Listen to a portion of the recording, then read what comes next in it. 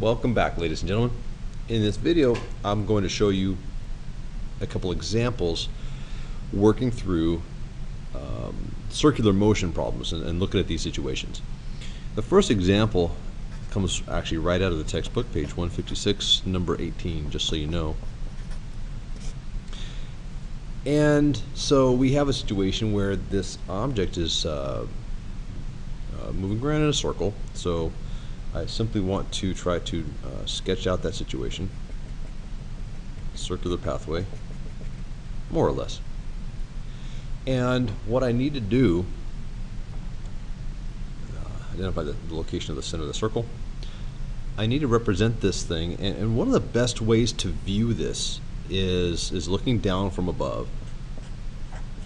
So we're going to take a top view and I'm going to show uh, when, when, this thing is in, in this position here.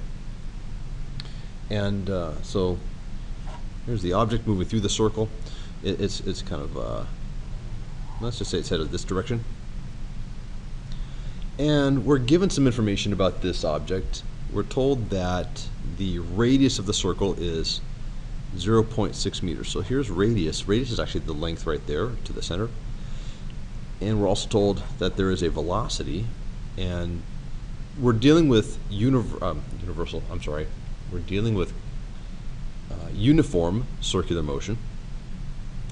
And so the speed will remain constant. So what we know is this in this problem. I'll put it down here. The radius is 0.60 meters and the velocity, which is constant velocity, ah, sorry, mm-hmm. constant speed. The speed of the object is constant at 2.2 meters per second. But of course, the velocity will not be constant. The velocity is changing because the direction is constantly changing. Okay. So is there anything else about this object that we know? Well, we're given in the problem the mass is going to be 40 grams and so what I'm I need to recognize meters, seconds in my units, and now grams doesn't really fit. I would like to have kilograms. So 40 grams, 0.40 kilograms for the mass. And so what I'm going to be asked to do is find the tension here in the string. And so I, I recognize this relationship where there is a centripetal force, and that centripetal force is the force of tension pulling toward the center of the circle. And so that force is along the line here, toward the center. There's tension. But that tension is what is causing this, the object to move in the circle. So it is going to be equal to the what we call the centripetal force, the force creating the circular motion. Think about this. That force is what continually turns the object. It continually changes its direction as it moves around the circle. And that's where um, it's this force that causes that acceleration, that change in direction. But a centripetal force from Newton's second law is equal to a mass times a centripetal acceleration. But we also know that a centripetal acceleration is equal to speed squared divided by radius. So I can do yet another equal sign and say that MAC here is now going to be mass times speed squared divided by the radius of the circle. Well, at this point, as far as tension goes, I, I, I can simplify this. And I want to show this, even though you probably get it. speed squared divided by radius. So this is what I'm looking for. What is the tension in the string? And it is because the tension is producing that centripetal force. Then I can go ahead and make everything here equivalent, and I got this. And, and I got this because, well, I know the mass, and I know the speed, and I know the radius of the circle. So I've got those quantities. All I have to do is plug and chug and get some calculation done the mass here 0.040 kilograms. The speed is 2.2 meters per second. But it's very important that I remember that the speed is squared.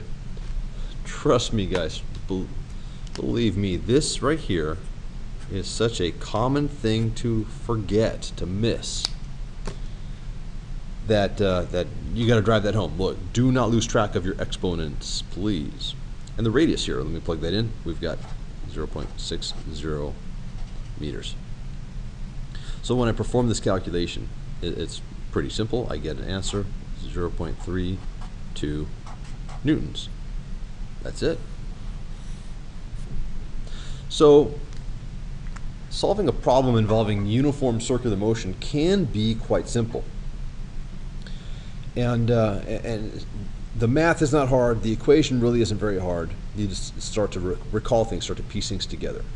And you know, maybe, maybe for your benefit, I want to highlight something. So look, from, from the nose, we remember that centripetal acceleration is speed squared divided by radius. And so that's why I was able to make this substitution from this to that in, in the equation, right?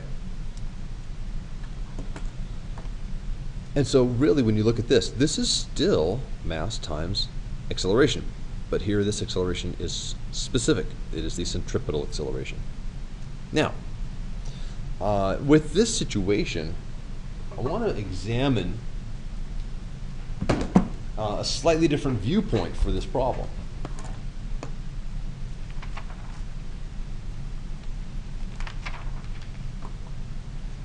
So we're told about this, this 40 gram stone whirled horizontally on the end of that string. Okay, so you guys probably recognize that, that if you're twirling something around, uh, let's say you're holding the end of the string overhead and you're twirling it in a horizontal circle, then the string will not be truly horizontal. So this, solving it this way, this is sort of an oversimplified uh, look at this circular motion. And the reason is, um, it, it's fine, we did good work, but we're sort of making an assumption that gravity isn't affecting things. And, and we don't see how it could affect things here simply because of our point of view. I mean, let, us examine this. Let's, let's real quick have a free body diagram of the situation. So I'm going to draw this real quick. It's worth doing.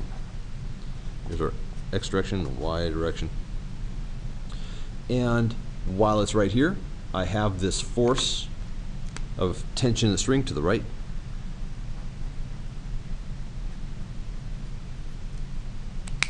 And this is this is pretty slick. What I have still is is the center of the circle is actually just exactly to the right of where it's located at this moment. And so the center of the circle is here somewhere on the x-axis.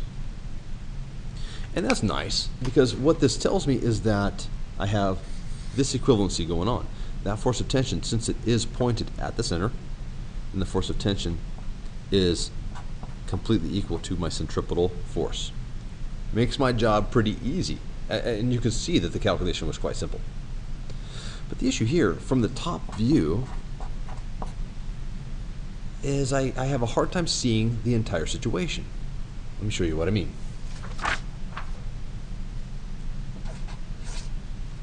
for that same situation, what if I looked at it from the side? Side view. So I'm going to have,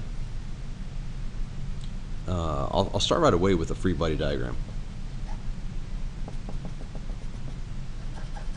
Right, here's X, here's Y.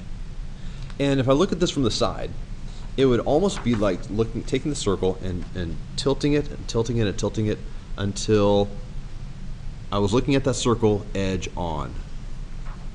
And so here in this diagram, I'm not going to see any circle. I would simply see a line, and this, this would be kind of strange. Uh, but you can see that even viewed edge on, the center of the circle is still to the right of the object in this location. So there's my center of the circle. And I can still represent the force of tension here on the x-axis. That is not a problem.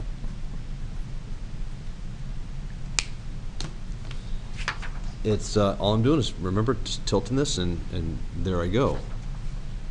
But from the side, I can easily see something else. And the issue here is gravity pulls down. And you can see that here in this diagram, uh, I, would have a really just about impossible time showing it in this diagram, showing the weight. It, it's, it's as if the weight would actually be acting straight down into the page as a force, a, as an arrow. And I, it's really hard to show that on a two-dimensional diagram like this. But if I tilt this up, then as I tilt it up, that weight downward would become more and more evident, more and more visible, and until I can see it here. And so here's the thing to consider. Uh, it, it's easy to see here that forces are unbalanced in the y direction. That's that's kind of an issue. There's you this force absolutely exists, but there's nothing vertically up here to balance it out. So this tells us that the circle can't truly be flat. Well, okay. What I should say is that the string can't truly be flat. In reality, the string must be at some angle. So uh, this must be wrong. In fact, impossible is, is a good way of putting it. So we'll contrast that with, with what really is happening, where the string must be at some angle. There's tension in the string. I, I'm still looking at this from the side, by the way. Still my side perspective. And the center of the circle is still somewhere here on the x-axis. Good there. And I still have weight pulling straight down.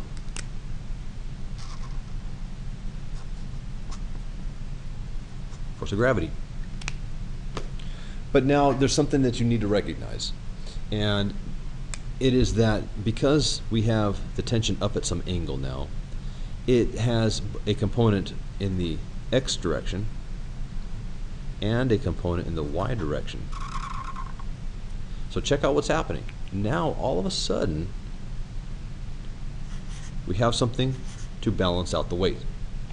And so forces vertically are balanced and that's good. And forces horizontally are not balanced and actually that's fine. Because if you think about this, we need this to be unbalanced. We need there to be an acceleration toward the center of the circle.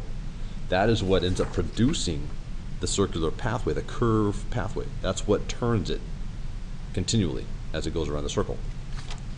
Is this unbalanced force right here. Now you probably can recognize that you know if we know an angle, angle theta, then this guy right here will be hypotenuse times cosine of theta. So force of tension times cosine of the angle, right? And it is that one that equals your centripetal force. The one pointed actually toward the center of the circle is your centripetal force. Not the whole tension, only the horizontal component of it right here. All right, so let's actually look at a problem where, where this is a factor. And, uh, and what I'd like to do is uh, actually take a look at the flying pig. So with our flying pig, next example.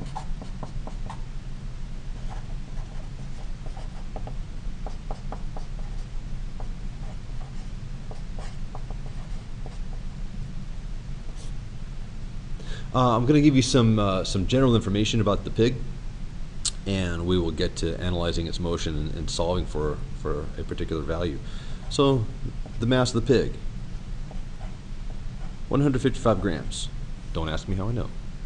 We're going to say that as the pig flies around in a circle, its speed will be 1.50 meters per second. Actually, it, it's real simple to get this. Let me draw a quick sketch and we'll talk about this. So we have a, am going to take sort of a, not a top view, not a side view, but a little bit of a hybrid view, uh, looking at both. So I'm going to quickly just, there's the circle. And you can see that, that we're sort of looking at it on edge, but not entirely. Let's say the pig is here. And pig's got a couple wings, right? The center of the circle would be here. Easy to see that. And the thing is about this, the string holding the pig to the ceiling comes up like this.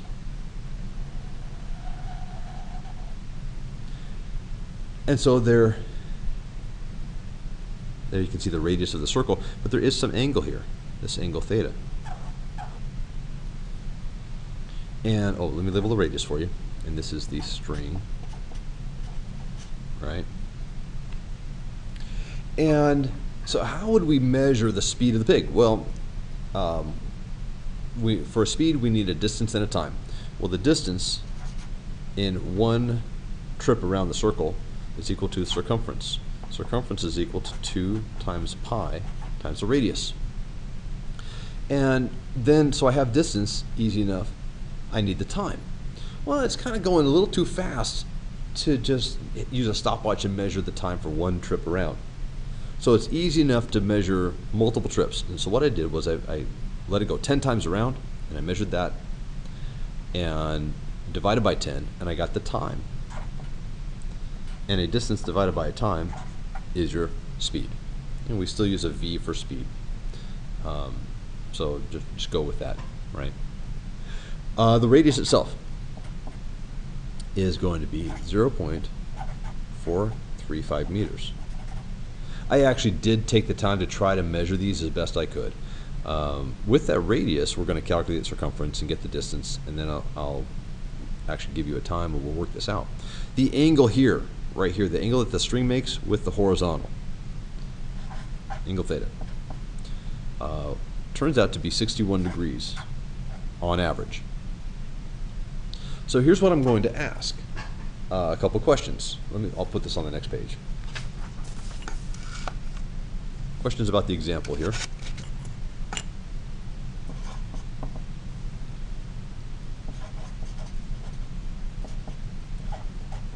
What are the centripetal force and the tension in the string? We want to find those two solutions. There's three of these notes. So that's our goal, right? And uh, and so I will have to ultimately do some sort of free body diagram. There are forces acting on this object, affecting its motion. X direction, Y direction. And I'm basically going to sort of analyze it when the pig is right here in along the circular pathway. So the centripetal force will be toward the center and the tension will be up at this angle along the string. So that's what I want to draw. I'm going to have a weight pulling down. And I'm going to have a tension in the string. And these really are the only two forces affecting the pig. Force of tension. And so here's what I recall that uh, well th this does not have any x component to it it's just all in the y direction. This force has both an x and a y component to it. There's the x component, and bring that straight across, about there. There's the y component. And drawn carefully, you can see that these two balance, right? So, Oh, uh, one more thing. I have an angle, right? And I, I was given the value of this angle, theta, right here. There's my angle theta. But uh, the components. Now, hopefully you're getting good at finding components of a, of a vector. this component right here. This guy is, is equal to this side of the triangle that has theta in it. And so since it's opposite of theta, I need to use the sine function. So this is going to be force of tension times sine of theta. This component, since it is adjacent to theta, I'll need the cosine function. So it will be force of tension times cosine of theta. And there's, there's other things I can work out. I mean, if I have balanced forces vertically, then I know that ft sine theta is equal to fg. Um, and, and that may come in handy later on. So let me see what, what I have to do here. here's my goal. I'm going to first try to work out, uh, based on the information that I have, the centripetal force. Let's see if I can do this. Well, centripetal force is mass times centripetal acceleration. So there's my basic beginning of an equation. But I can break up centripetal acceleration. Mass times speed squared divided by radius. So the question I must ask myself, if I want to find this, do I know enough information? Do I know all these values? Well, I know the mass. I am given that value. And I know speed, I'm given that value. And I know radius, I'm given that value. I'm good to go. So the centripetal force. My mass is 155 grams. So that actually converted to kilograms? 0.155 kilograms. My speed. Now when I worked this out, the speed that I got was 1.5 meters per second. And I found that, uh, you know, from using radius to find circumference, which is my distance traveled. And when I measured it going 10 times around for the time, 10 times around got me 18.25 seconds. So one divide that by 10, one time around, 1.825 seconds. And with the distance and the time, I was able to calculate that velocity. So that's where that 1.5 comes from, 0.50 meters per second. And that is squared, right? The radius is given as 0.435 meters. So when I work this out, centripetal force comes out to 0.80, allowing for a tiny bit of rounding differences, 0.8 newtons. Not a huge force, but we don't need a huge force to do this. So I have one of my answers. Box. Now, the other question, the force of tension. So what I know is that the, the tension in the string, well, this the tension is up at along this angle, and I know something about this because I can see force of tension is sort of buried inside this component. And this is nice because this component is unbalanced, right? This is actually equal to my centripetal force. It's the force that points toward the center. The center is over here somewhere on the x-axis. Center, right there. And so the, the, the arrow that points toward the center of the circle is the centripetal force. And I know that it is Ft cosine theta. And so this is pretty cool. I actually know the centripetal force and I know theta. I ought to be able to calculate the force of tension just from this. No big, huge mess to go through. Let's see if we can get that. So I'm going to say the uh, force of, or centripetal force is equal to that. Force of tension times cosine theta. And it's the force of tension I'm looking for, so I'm going to divide both sides by cosine theta. And I'll just kind of rearrange this a little bit. I, am in the habit of liking my unknown on the left side. Don't let that throw you off if since seeing it on the right side. If you want to keep this on the right side of your equal sign, that's fine. Uh, cancel, cancel. And so I have F uh, centripetal force divided by cosine theta.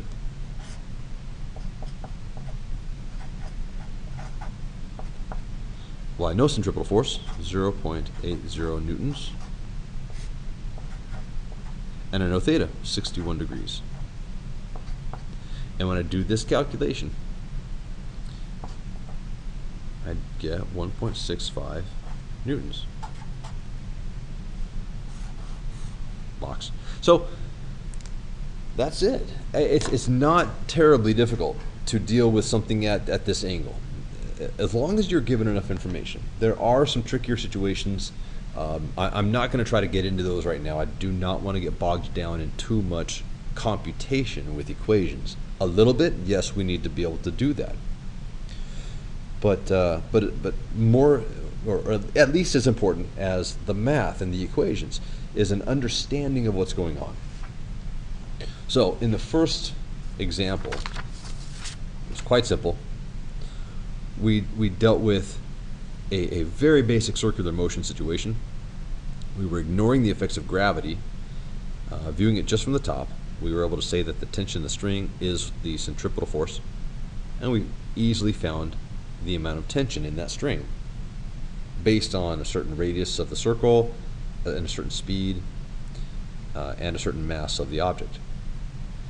In the second example, with the flying pig, we had to be given some information, so, so that's kind of a, a usual thing, right?